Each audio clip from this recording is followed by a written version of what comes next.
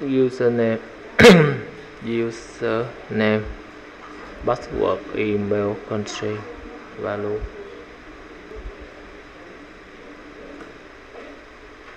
invalid column name U1 đây là các cái value mà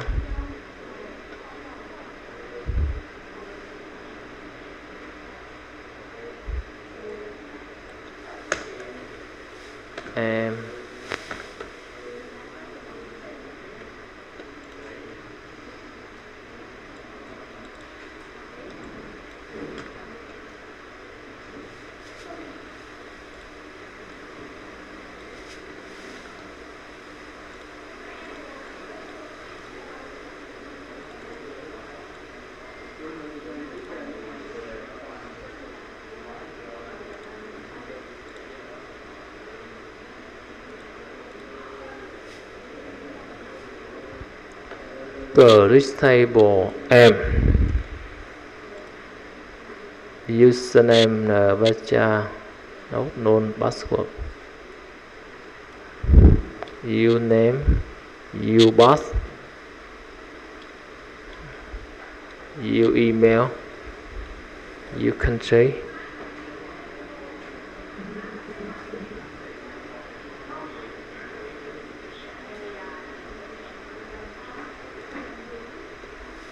username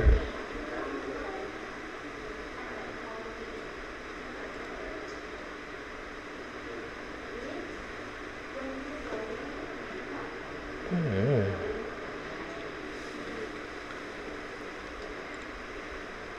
Đó, run cái này xem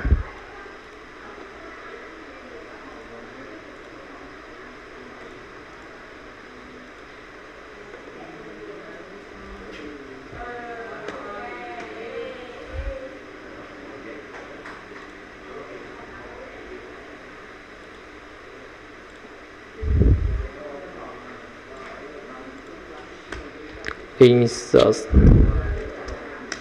into em. Value u1 phải à, username đó là u1 rồi đến email u1 a gmail com. Rồi đến quốc gia là Việt Nam. Rồi chàng thử người đầu tiên này vào xem. Ừ.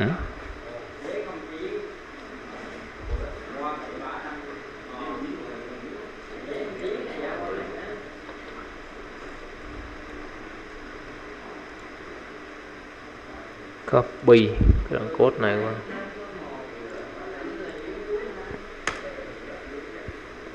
insert into em.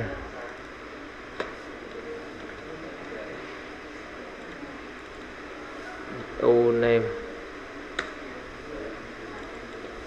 u bus u email. U country. Value U1 à, U1 A cộng Gmail com. Việt Nam.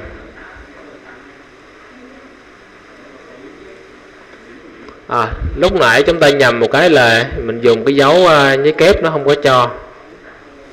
Sử dụng như giấy đơn các bạn nhé tương tự thế, thêm người số 2 vào. Người số 2 rồi, run nó này. Ok. Như vậy trong cái bảng chúng ta sẽ có hai người. Rồi, xin luôn nó ra đi.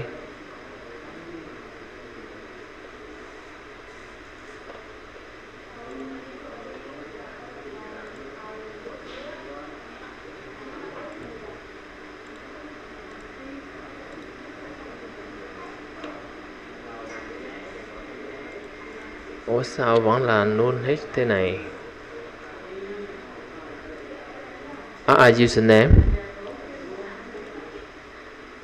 chỗ này mình đặt là getting u user name mình đổi tên rồi. Mình đổi tên thành là uname thì mình đặt tên là uname U1 U2 ok. Sau khi chúng ta có cái này thì chúng ta nhấn submit để cho nó hiện ra cái form kia. Thì chúng ta code tiếp nè. Nhấn đúp chuột vào cái submit này để chúng ta mở ra cái đoạn code uh, action cho nó. Đầu tiên thì chúng ta sẽ lấy cái giá trị của cái uname mà chúng ta đã kích ở trong cái combo box. Như vậy là combo box username chấm get select get select item. À, mình chọn cái giá trị đó. Cái gì đây? Cast. Sau khi chọn xong chúng ta sẽ tạo ra một cái đối tượng là user detail. Cái class của mình á class form à, kia kìa. User detail u detail bằng. New user detail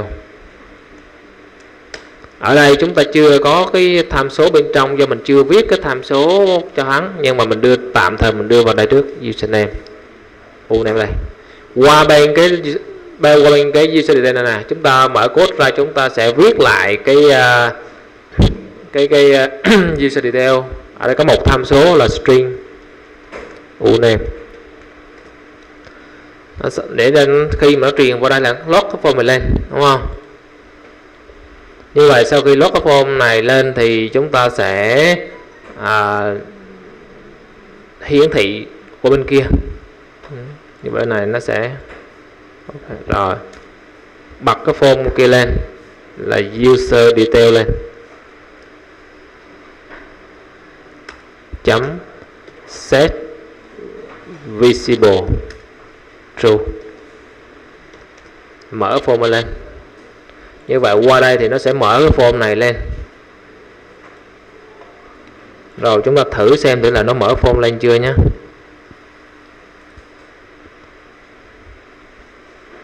Clarissa contractor user default in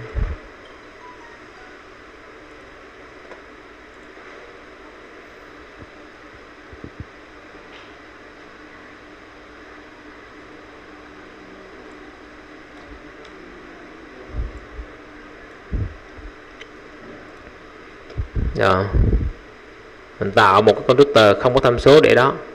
Chạy form này thôi. Run. Bấm vào U2 chẳng hạn. Submit nó mở form này lên. Thế khi mở form lên thì làm sao để nó hiện ra các thông tin chỗ này?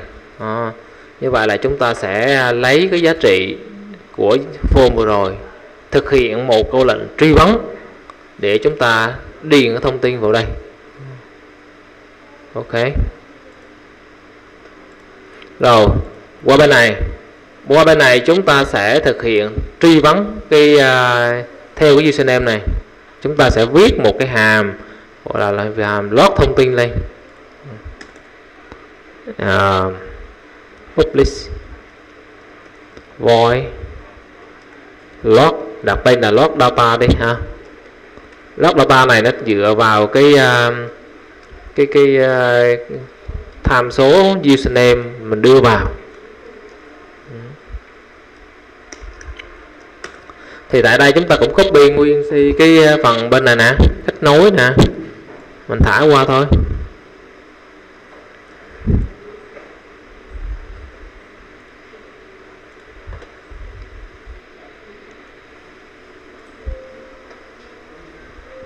Ở đây là chúng ta kết nối tới nó tới chúng ta dùng câu lệnh uh, select. Mình bỏ dòng đi. Select sao from cái này qua. Ở đây mình có điều kiện. Qua cái à, uh, u bằng bằng cái cái biến mà chúng ta đưa vào. Như vậy cái biến đó là gì? Thì các bạn có thể dùng cái uh, cái cái uh, kỹ thuật string format ở đây. String chấm format. Đó. cái kỹ thuật này chúng ta sẽ viết là, là bằng cái gì đó bằng cái gì đó. Và chúng ta sẽ đưa cái à, cái giá trị đó vào đây. Uname. Tạo ra một cái chuỗi select như thế này rồi chúng ta thực hiện truy vấn truy vấn xong thì chúng ta đưa nó lên thôi. Đưa lên kết quả là txt à, đầu tiên là username sẽ bằng rs chấm get string get string tên cột nó là à, uname. Tương tự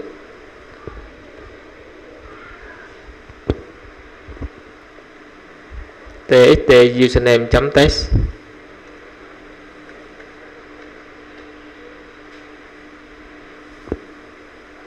Ah no no. Set test. Chấm set test. Set test cái string này. Đó. Nhưng mà section này vô. Tiếp tục copy này ra dán xuống đây. Tiếp tục dán xuống như bốn bốn cái. Chỗ này sẽ là txt à, buộc à. chỗ này là txt email. Chỗ này là txt country. Bạn bấm một chữ bạn bấm control space đó nó sẽ hiện ra. Chỗ này là u u chỗ này là u email. Chỗ này là u country. Mấy cái tên cột các bạn, tên các cái cột mà trong cái bảng dữ liệu mình bên này nè. U name, u pass u email, u country nè, đó. Rồi bây giờ chúng ta chạy chương trình xem thử là nó nó lót này lên chưa nha không quên, chạy bên chạy bên kia chứ.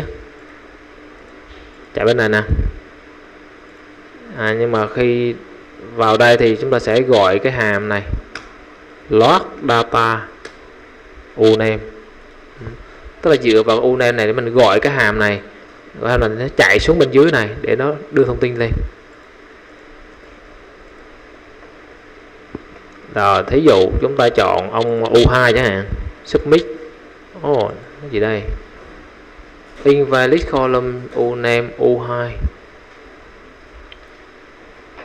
như vậy là chúng ta qua coi lại cái uh, column name chúng ta. Select sound from cái gì à bên kia. Select sound from em where username uname bằng bằng uname nó đưa vào.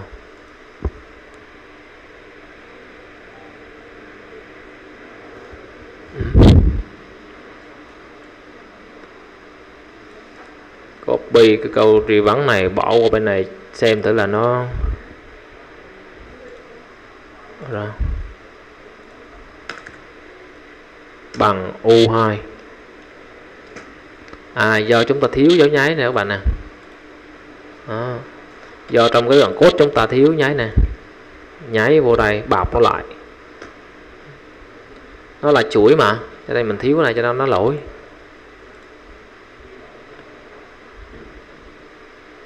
U2 submit đó, lên thông tin.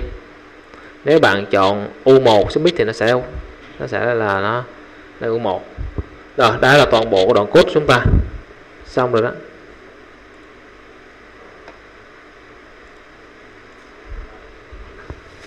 Ok, các bạn làm theo nhé.